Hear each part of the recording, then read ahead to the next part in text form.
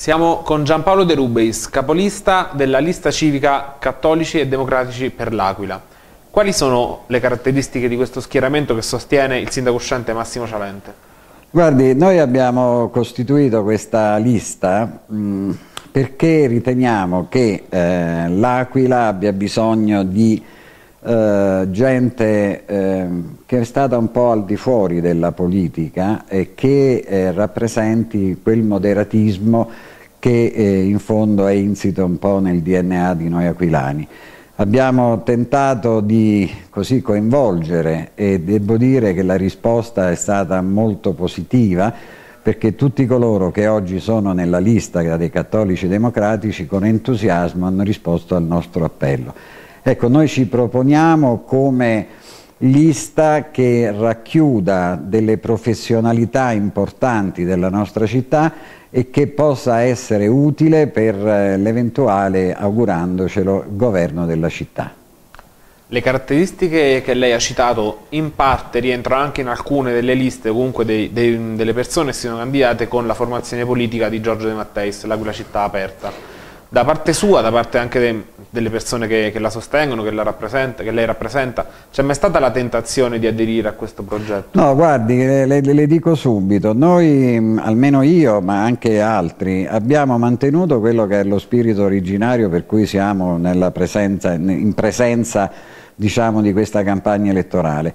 Eh, le dirò di più che questa lista mh, vuole essere anche non il contraltare, ma volevamo eh, che la città eh, comprendesse che eh, quei cattolici moderati che sono presenti nella nostra città non erano appannaggio solo del centrodestra. E quindi eh, coerenti con quello che noi abbiamo fatto in questi anni, coerente io personalmente con quello che è stata la mia presenza dal 2007 in poi e soprattutto negli ultimi due anni di Consiglio Comunale in cui sono rimasto nella maggioranza, in quella stessa maggioranza che io avevo poi eh, a cui avevo aderito nel momento in cui dopo le primarie eh, con la lista civica Impegno per l'Aquila appoggiammo certo. sinceramente Massimo Cialente. Lo abbiamo fatto, lo abbiamo seguitato a fare quando io sono rientrato in Consiglio Comunale e oggi noi come moderati guardiamo con ehm, lo stesso spirito costruttivo con il quale abbiamo lavorato in questi anni. Lei appunto, l'ho ricordato, nel 2007 ha partecipato alle primarie con il Laboratorio per la Democrazia, esatto. se non esatto. sbaglio, e poi si è sfociato nella lista Impegno per l'Aquila. Quali erano le divergenze di allora con Cialente che sono state evidentemente appianate e ha avuto la tentazione di fare le primarie anche quest'anno? No, io quest'anno non ho inteso fare le primarie, non solo, ma dirò di più che la mia decisione di ripresentarmi e quindi di essere nuovamente in lizza per il Consiglio Comunale è nata dalle forti insistenze che io ho avuto da Giampaolo Arduini e dallo stesso sindaco. Devo dire che la prima mia decisione subito dopo la fine del Consiglio Comunale era quello di non ricandidarmi ma di essere presente aiutando eh, l'amministrazione nascente eh, con quella che è la mia modesta esperienza e le mie capacità di messe a disposizione della città. La stessa cosa che io feci nel 2007 perché ritenevo che ci dovesse essere comunque la presenza, oltre al sindaco Cialente e all'allora eh, candidato del centrodestra Maurizio Leopardi, ci dovesse essere qualche altra voce.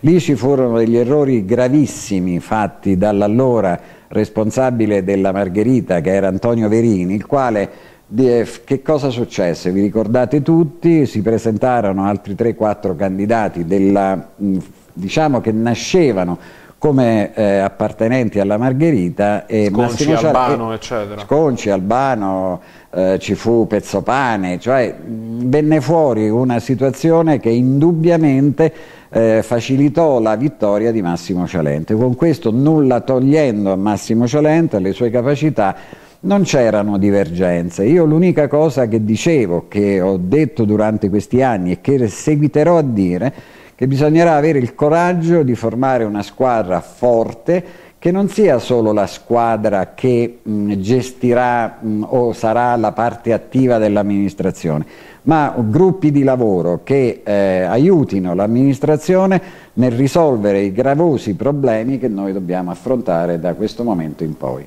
Lei ha parlato dell'UDC. Eh, in questi primi periodi di campagna elettorale lo stesso Cialente ha detto l'UDC aquilana è con noi.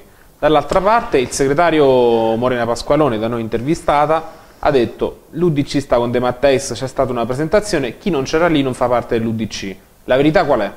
Allora, guardi, la verità io la voglio dire tutta perché effettivamente ci sono stati degli equivoci che però eh, credo che ieri, quando noi abbiamo presentato la nostra lista ufficialmente, Giampaolo Arduini abbia saputo ben rappresentare. Questi equivoci quali sono?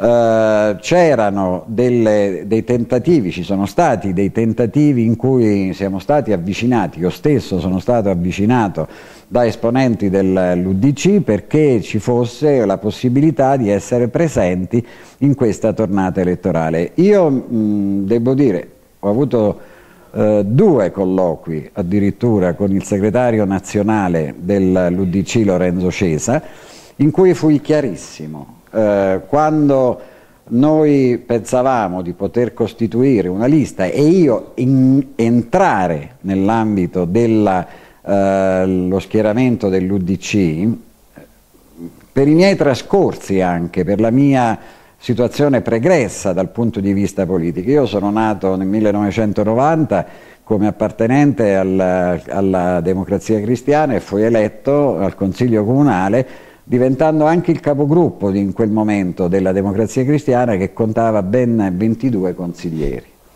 Eh, in questi colloqui io sono stato di una chiarezza assoluta e dissi io sono disponibile a essere presente e quindi a rafforzare la presenza dell'Udc all'Aquila ad una condizione semplicissima, che nella prossima tornata elettorale l'Udc si schieri nel centro-sinistra. La stessa condizione di Arduini. Esattamente. Questo non è avvenuto e noi così come eh, abbiamo avuto poi contatti sia con il segretario provinciale, con l'onorevole De Laurentiis, con l'onorevole Dionisi che era il commissario. È vero che De Laurentiis non voleva De Matteis? Esattamente, no. Mm, De, eh, De Laurentiis devo dire che appoggiava questa mia o nostra richiesta di eh, fare una lista forte dell'UDC che appoggiasse il centro-sinistra, così come è avvenuto nelle altre realtà, guardiamo Avezzano per esempio, eh, così come in, altri, in, altre realtà anche al di fuori dell'Abruzzo. Allora, questa situazione ehm, io la rispetto come rispetto tutti coloro che hanno fatto delle scelte, la posso non condividere, ma certamente... Ehm, io mi auguro che ci possa essere, non oggi, nel futuro eventualmente un ripensamento, eh, perché secondo me ehm, al di là del fatto che l'UDC non è riuscita eh, fino a oggi eh, a costituire questo famoso terzo polo, viste le divaricazioni sì. che sussistono, è ovvio che io mi auguro un ripensamento nel futuro eh, non tanto nella prossima guida amministrativa della città e quindi nelle componenti che faranno parte di questa amministrazione e l'appoggio a questa amministrazione, ma nel futuro nelle prossime anche elezioni regionali e nazionali. E, um, una risposta secca, la sua posizione di capolista eh, preconfigura un impegno da assessore in futuro? Ma guardi, io non ho fatto alcuna richiesta io anzi devo dire che sono onorato che mi è stato quasi, non dico imposto, ma hanno voluto che io eh, capeggiassi questa lista. Eh, il mio impegno è per la città, il mio impegno vuole essere un impegno forte, così come io mi sono impegnato negli anni in quel poco, quel tanto che qualcuno mi riconosce e mi auguro di poter essere utile, qualunque sia il mio ruolo, anche semplicemente, come ho detto, di consigliere comunale come ho fatto in questi anni. Ultima domanda, lei è uno di quelli che credono in una possibile vittoria di Cialente al primo turno. Guardi, io me Questo lo auguro. schieramento De Mattais Properzi non è in grado di impensierire Cialente secondo lei?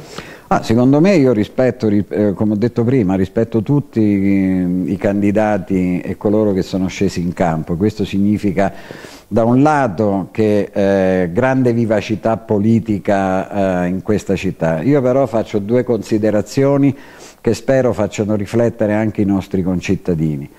Um, uno, non ci si inventa sindaco dalla sera alla mattina. Io credo che le conoscenze amministrative della macchina comunale, i rapporti che si debbono intessere giorno per giorno per mandare avanti quello che è la, diciamo, non è solo la ricostruzione delle nostre case, ma la ripresa economica e sociale di questa città, eh, presuppone ormai una conoscenza di tutto ciò che è avvenuto in questi tre anni.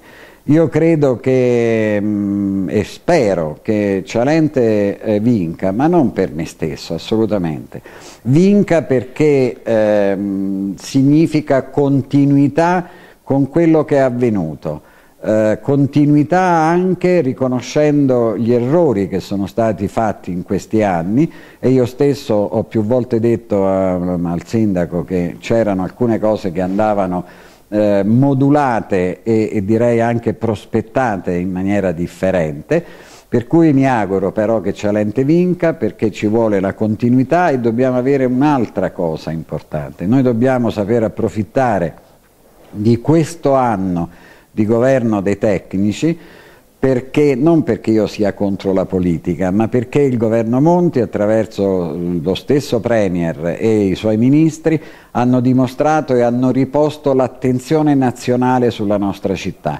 Ecco, io credo che dovremmo saper, come dire, avere la capacità di sfruttare questo momento velocizzando e cambiando passo immediatamente per ricostituire due cose, innanzitutto le persone, noi sappiamo che la gente è disgregata e vive come in un limbo, vive sì. come se fosse sospesa in qualcosa che non riesce più ad avere, eh, come dire, la, ad, ad, ad far assaporare la propria vita.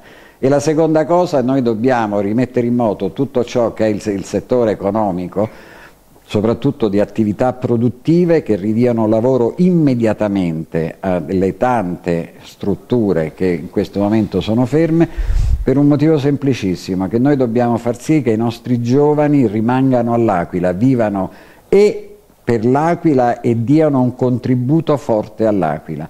Noi dobbiamo fare questo immediatamente e credo che questo con il governo Monti che ci ha dato tanta disponibilità e se dobbiamo essere capaci di saperla sfruttare, dobbiamo fare in modo che dal 9 maggio si rimetta in moto tutta la macchina. E questo può farlo Cialente?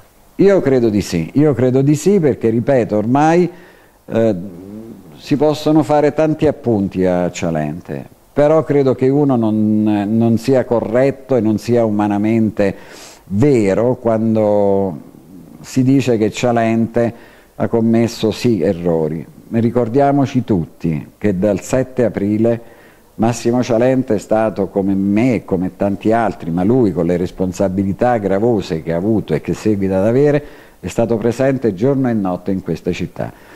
Eh, ricordiamoci anche, e questo lo dico, lo faccio come appello ai miei concittadini, eh, io credo che qualunque sindaco anche il migliore in Italia si sarebbe trovato nelle difficoltà enormi per la tragedia che ci ha colpito il 6 aprile del 2009.